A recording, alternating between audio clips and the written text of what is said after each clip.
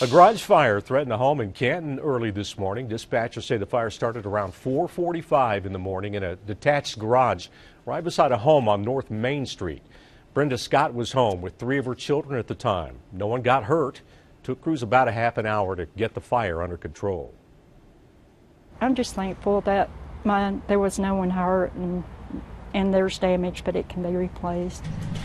The cause of the fire is under investigation, but Scott thinks that an electrical heater may be to blame.